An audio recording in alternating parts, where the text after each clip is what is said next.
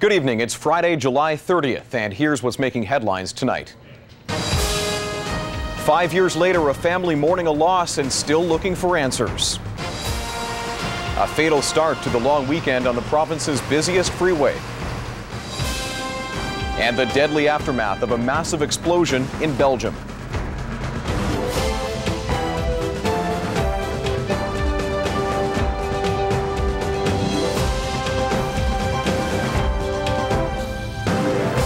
As another civic long weekend gets underway, an Ottawa family is again preparing to mark a grim anniversary.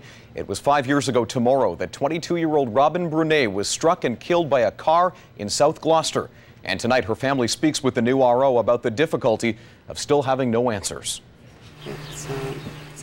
It troubles me from the point of view that there's still a person out there who has done this and has so far gotten away with it. I don't understand how someone can live with themselves after basically committing murder. Judy DeGray lives with those thoughts every day. Her daughter, Robin Brunet, was killed by a hit and run driver on Highway 31 near Mitch Owens Road five years ago by someone who police say chose to just drive away even after stopping and seeing what happened. Police were able to come up with a vehicle description, a 1990 or 1991 white Toyota Camry. But five years and 2,000 vehicle checks later, there's still a critical piece of the puzzle missing a credible witness to the crash. I feel confident that uh, somebody did see this vehicle uh, strike Robin. That's the one piece we are missing, is it uh, the critical link to put this vehicle uh, at the collision scene. Now, as much as this site is a place to remember Robin, for her family, it's also a place to renew their hope. Hope that whoever caused her death will someday come forward and own up to a crime that's caused a family years of grief. We're hoping that Robin's killer will somehow be able to pick up that telephone and turn himself in. With just the right piece of information, uh, it, uh, it will be solved. A lot of people out there I know are, are really angry that this person is still a mystery. Police are still offering a $25,000 reward for information that leads to the arrest and conviction of a suspect. If you can help, call Sergeant Bill Merle at Ottawa Police. You can also visit a website dedicated to Robin's memory at robin31.homestead.com forward slash Robin, page 6 .html. That web address again is robin31.homestead.com forward slash robin page 6.html.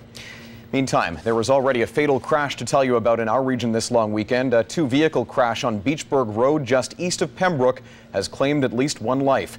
Police say the accident happened around 9.30 tonight. Beachburg Road, that's Renfrew County Road 21, will be closed through the night between Cemetery Road and Indian Road. The new RO has a camera on scene this hour, and we will have the latest tomorrow on News 6 Ottawa at 6. And a tragic crash on our province's busiest freeway tonight. One person is dead and two seriously injured after an accident on the 401 east of Toronto. Provincial police blocked off eastbound lanes of the 401 near Port Hope for nearly six hours after the two vehicle crash early this morning. Debris covered the roadway and one black vehicle was flipped on its side at the site. Traffic was rerouted along some county roads in the area and then back onto the eastbound freeway. No details about the victims were released. Around the same time in Huntsville, parts of Highway 11 were closed for two hours after a crash sent half a dozen people to hospital. The crash happened as provincial police were stepping up patrols for the civic holiday weekend, one that historically ends in tragedy on our roads and waterways. And no different from any other long weekend, Ottawa OPP are targeting speeders on highways 7 and 17 as part of Operation Bullseye. Right now, we're targeting uh, speeders and seatbelts, uh, unsafe lane changes, tailgating, all, all sorts of driving that actually are considered aggressive and also which are danger to themselves and to other drivers. I drive trucks for a living and a lot of people follow me too close too, so I'd like to see them get stopped too sometimes because I can't really see them behind me and I find that very annoying. Police say taking simple measures like using seatbelts and personal flotation devices are of course good ways to stay safe. If you are spending time outdoors this long weekend, the province is sending out a reminder to protect yourself against West Nile virus. Positive mosquito pools have been reported in some parts of the province, increasing the risk of being infected with the virus. Health experts say taking the necessary precautions like wearing long sleeved clothing and draining all standing water around your home like wading pools and bird baths are a good start. The province is also warning you about another natural danger tonight. The MNR has begun a new black bear safety campaign. It's called Bearwise, and it's aimed at cottagers and campers. The new RO's Doug Hempstead has the story for us. Is this your first time here, or? Uh, I was here last year. Okay. So this is the uh, this is the press release that the government put out today. What do you think of those pointers? Do you think that'll be of any help to uh, to people? I'm, I'm sure it will be. Yeah, it'll make uh, sure everybody uh, is at least aware of what they should do. The Ministry of Natural Resources is trying to do something to eliminate the number of nuisance bear incidents in Ontario. They also would like to help people not be so freaked out when they run into them in the wild. So today, they issued a number of press releases about you know, the incidents in which you might run into a bear. And the one we're interested in today, because it's a long weekend, is camping. So I'm here at Bonnechere Provincial Park to get the skinny on bears. Kind of the first thing when they do come in is that there's a, a series of posters across the front of the uh, counter there, and one of them being Bear Smart Camping. And also we hand them out a brochure with a map, and on the back of the map is, again, some Bear Smart messages. So what do you know about, uh, about bears and keeping your campsite safe from bears? Well, what I do know from my experience is that the bears don't seem to be as dangerous as what people think that they are. Uh, this kind of information useful? Do you, do you take note of this stuff and, and, try to follow it, or? Absolutely. I think any anything where, where there's tips on how to how to keep safe, I always take a glance at that and, and see if I can learn something. Now, one of the reasons why people come to provincial campgrounds like Bonnechere is for an increased sense of safety. And we all know about attracting bears to your campground with food and with garbage. Well, here is a garbage depot. Now, a bear's got to be pretty clever with opposable thumbs to get in here and get at the garbage. And right next door is the recycling. If they put their garbage away and listen to the staff, that they'll have less chance of having problems with bears. Doug Hempstead, the new RO, Pembroke. Well, the contentious issue of leaf and yard waste collection here in Ottawa is back on the city's agenda, but not until next year. Mayor Bob Chiarelli says he will support reinstating leaf and yard waste collection along with full plastics collection in the 2005 budget. There are a lot of people who are very upset out there. We need to fix it. Uh, I have sent a memo to uh, the city manager uh, and asked him to ensure, as he's finalizing his budget proposals over the next number of weeks, Uh, that these services are restored. I will ask council to restore these services in the budget, and I want uh, the city manager to have an option to do that in his budget proposal. I, I would say that. Uh, Chiarelli says residents of Ottawa expect leadership on environmental issues, forcing the city to be more aggressive with its environmental agenda. City Council voted earlier this year to curtail leaf and yard waste and full plastics collection. Speaking of the outdoors, it is time to head outside right now for a first look at your weather forecast. Let's join Sonya Singh. And Sonya, a little bit of rain to start the long weekend tonight so far. That's right, Tony. In fact, the low pressure system that's moving in from the Ohio Valley is just teasing us right now. It won't be until tomorrow morning that we'll wake up to, well, puddles right around much of Ottawa. I'll get to all those details in just a few moments. Right now in the nation's capital, it is 21 degrees. It feels more like 29. Winds are calm, and of course, it is raining lightly outside. The probability of precipitation is resting at 70%. Now, your conditions overnight will be affected by this low as it pushes across the nation's capital and further towards Morrisburg as well. Temperatures are fairly mild. It looks as though we'll see some hit and miss showers continuing down towards Kingston as well, warming up to 20 degrees. Across the west, there's going to be a cold front pushing in, so less humidity anywhere from Arnprior towards Petawawa and there's going to be winds out of the south at 5 kilometers per hour across much of eastern Ontario. Tomorrow, mix of sun, clouds, and rain. Early on, first thing in the morning, we're expecting about 15 to 20 millimeters of rain pushing out by the afternoon.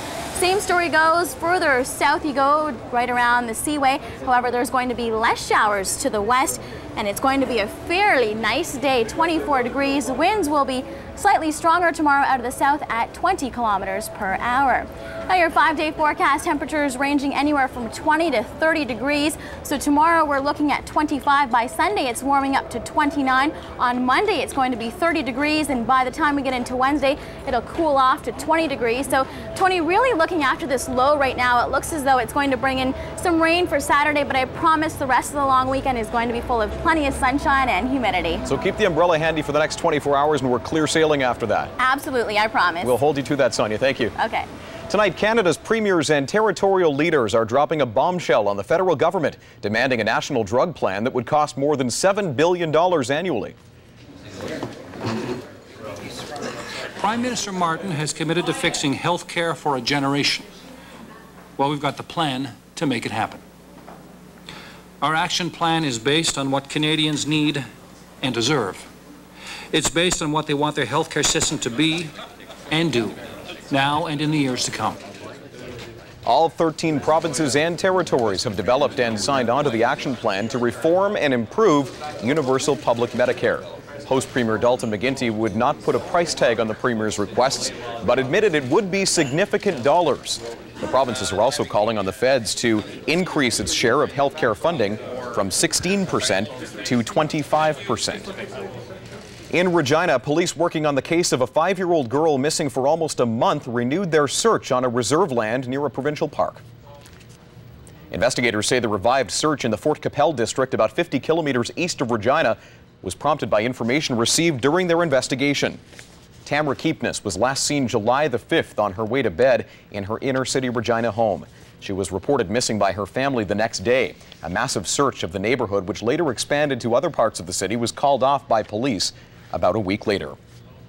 South of the border tonight, with the spotlight no longer on the Democratic National Convention, President George W. Bush is back on the campaign trail.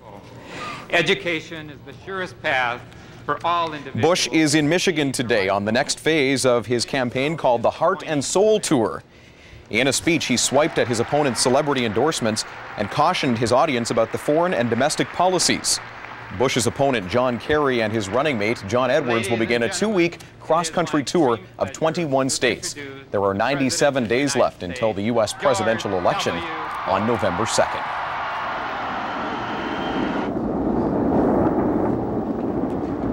To Belgium now, and at least 15 people are dead and more than 100 injured after a spectacular explosion of a natural gas pipeline. The earth shattering blast happened southeast of Brussels when construction workers pierced an underground gas line.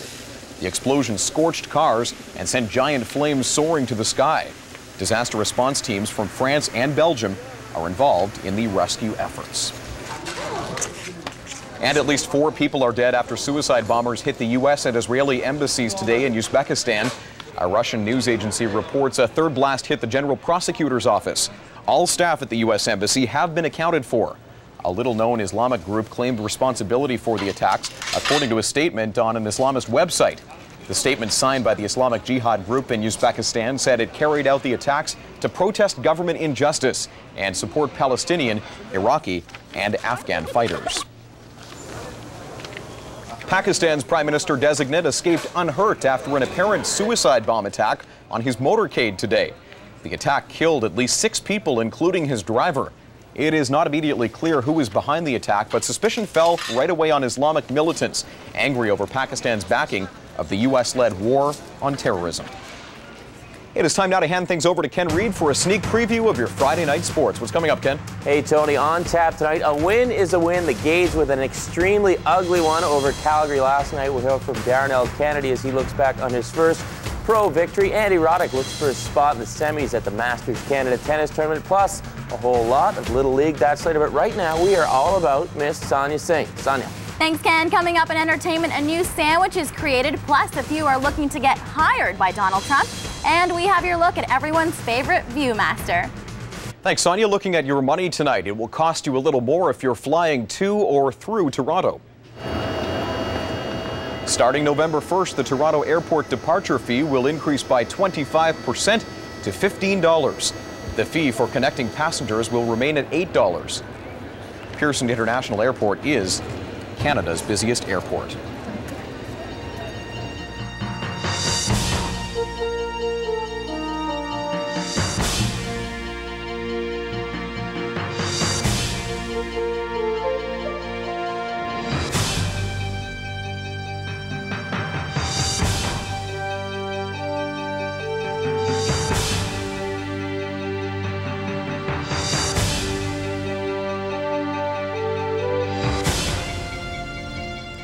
While the low carb diet craze is taking a big bite out of profits at Canadian food giant George Weston, the low carb cola war is just beginning. And while both new versions of Pepsi and Coca Cola boast half the carbs and half the sugar, be sure to read the labels carefully to find out what you're really drinking.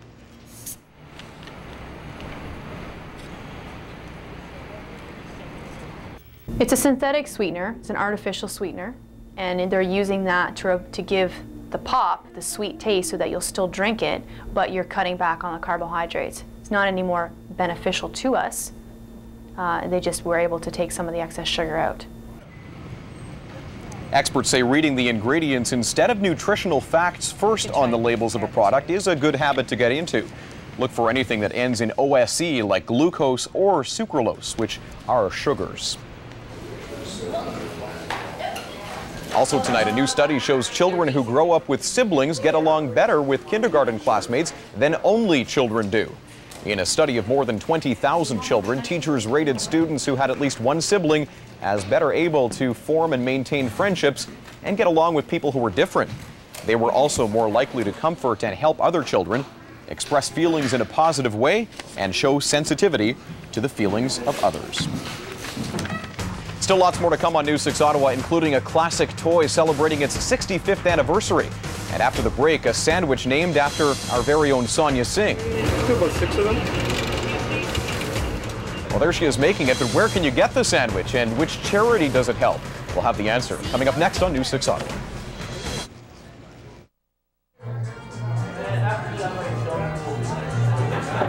Hey, I'm Glenn McPhee, you're watching entertainment on the new RO, and I'm with my buddy tonight. It is time now for a look at entertainment. Sonya Singh joins us for this. Now, this is going to be a good story. This is a story you really got your hands into tonight. That's right, Tony. In fact, it's right before the long weekend. And how about heading out to Preston Street for a bite to eat? Maybe a sandwich? Ever feel like a really good sandwich? Well, what about the spicy Sanji sandwich? Probably doesn't sound familiar yet, but it will in a few moments. All right, Frank, you've invited me down to Casa de Castro because something special is going on. We're making a sandwich. Tell me why I'm here. Well, it's just an idea I had to make uh, like a celebrity sandwiches, and um, if it goes well, we, I'd like to donate 10% of the sales to colon cancer. So what you're saying is that I can put anything on my sandwich, right? Choose whatever you like, and I'll put it on. That's correct.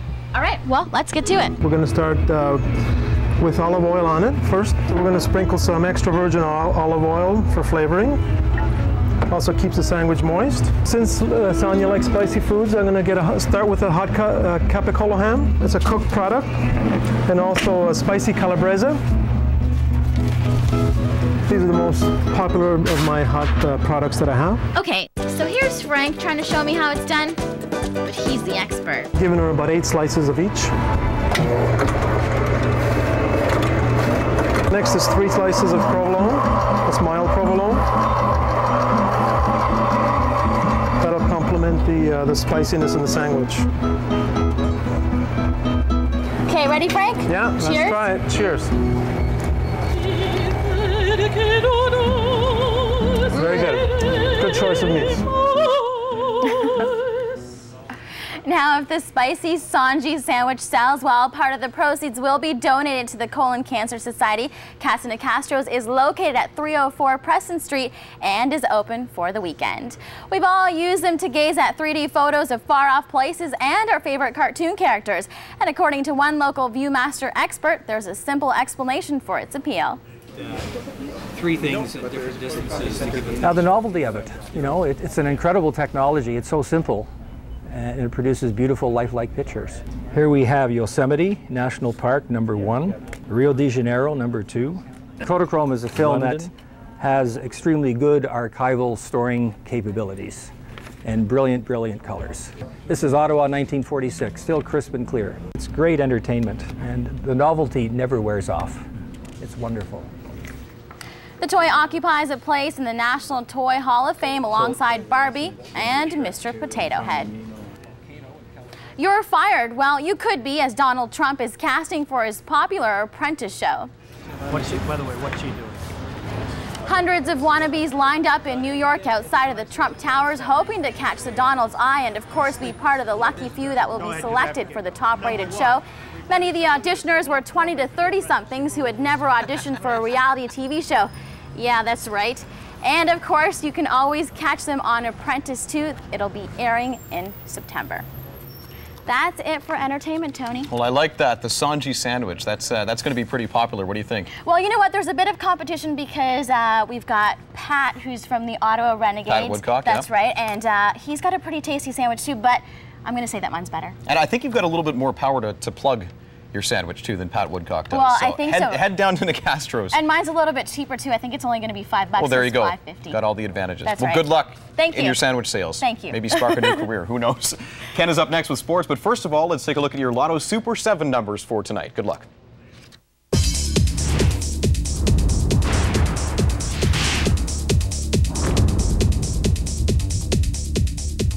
Good evening. I'm Amanda Martinez, and welcome to Ontario Lottery Tonight. Let's take a look at the draw right now to see whether you are the next big winner. But first, let's see what some of our players would do if they won the lottery.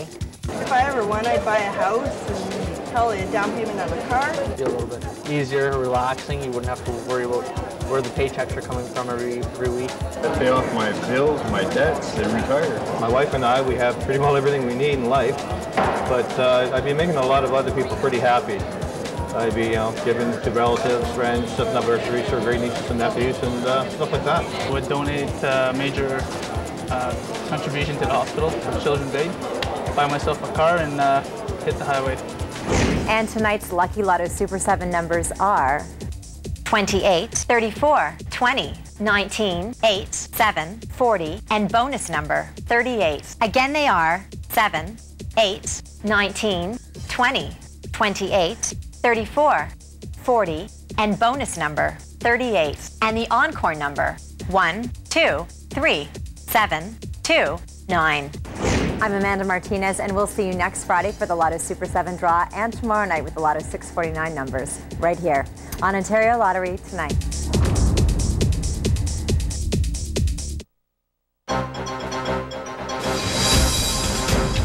Ken Reid joins us now with a look at your Friday sports. I guess you don't have to be an expert to guess that all the talk over in the Renegades camp is still about that uh, close but big win. Win is a win. Calgary last right? night. Yeah, the losing streak is over, and the Ottawa Renegades are back above 500 at 4 and 3, thanks to a 31 30 win over Calgary last night. The game very entertaining, but very ugly. A ton of turnovers, sloppy play by both teams, but for Darnell Kennedy, the night was just perfect. The third year pro picking up his first CFL win last night. Running at one minute.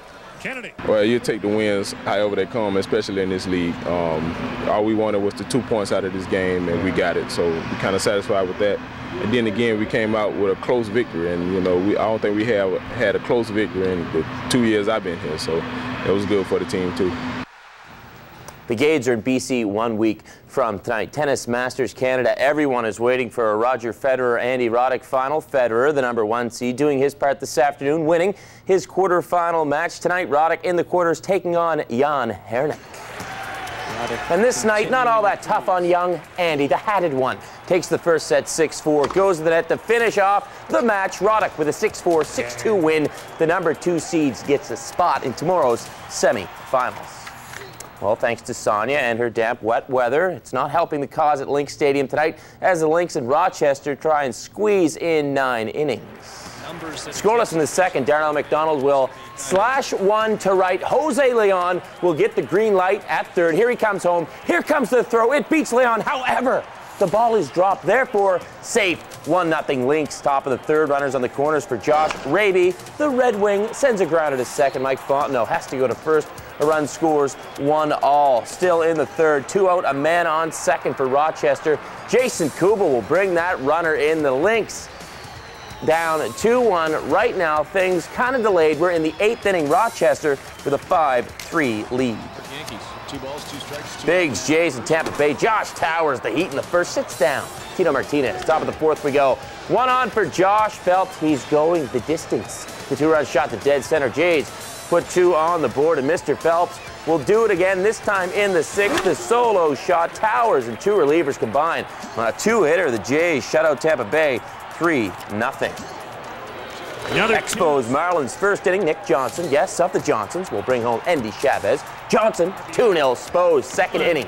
Feel the power of one Brad Wilkerson. The two-run shot off Josh Beckett. It's 4 0 Expos. Livan Hernandez, the magic on the mound. Montreal with a 9 0 win. The Little Dudes, Ontario Junior Little League Championships, the final game. Gloucester and Brockville. The winner will advance to the Canadian Championships in Coquitlam, BC, starting August 5th. And the boys from Gloucester are heading west. Gloucester with an 8 0 win to take home the Ontario Junior Little League title. Meantime, the ninth annual Scott Tokasee Little League Tournament is now on the go in Canada. The tourney named in honor of Scott Tokasee, a young man who died on the ball field almost a decade ago. This is a very special weekend for Greg Tokasee. Once again, he's watching over the tournament named in honor of his young son, who almost 10 years ago collapsed on the baseball field after running out a home run, dying from an irregular heartbeat it's hard every day and not uh, having my son around, but uh, this this keeps his memory alive, and it, this is something I do for him, and uh, so it's uh, this is it's just motivating. Yes, this tournament is a great way to carry on Scott's legacy, making sure his name lives on through the sport he loved. There's different emotions going on uh, for me, but uh, all in all, it's it's it's positive. It helps me overcome uh, my loss and our family's loss, and so uh, um, I look forward to it. It probably means a fair amount to them because it's just something special like everybody. And Scott's legacy, it lives on. It gives these kids a great tournament every summer to play in, and it's also made a big impact at CHEO. Over the years, this tournament has raised over $115,000 everything we're doing is for the proceeds all go to the cardiology department at CHEO. So uh, hopefully uh, we can help in some way uh, prevent this from happening to somebody else. His name continues on, and people will hopefully remember that I did have another son, and uh, and uh, his name stands for something positive. So uh, I'm pretty proud of that. And finally tonight, Radek Bonk signs a three-year deal with Montreal, and Chris Pronger signs a one-year, $10 million deal with St. Louis, so obviously salaries are starting to go down. Lots of wheeling and dealing even in the offseason. Oh, the money. We're hoping Lots to, yeah, absolutely. We're hoping I'd to like get a, some of it. that'd be nice. We're hoping to get a good deal out of the weather forecast. Let's check in one more time with Sonya Singh. It's the Saturday of a long weekend. Tell us we're going to have some sunshine, Sonya. Well, we are later on in the afternoon, but tomorrow morning we're going to wake up to showers. It's going to be 20 degrees in the afternoon. It'll feel more like 30, but temperatures hitting 25 degrees. Air quality is good. UV and pollen level are going to be moderate. They've been brought to you by Storyland. Have a great long weekend, Tony and Ken. All right, thanks, Sonya. Might be a good weekend to try out a Sanji sandwich. Or to work if you're me. Or but yeah, to work, I, yeah. I'd take a bite out of Sanji for sure. That looks like a good sandwich. The Sanji sandwich, mm -hmm. that's right. All right, well, we will be back tomorrow night at 6 and 11. Have a great long weekend, everyone. Bye-bye.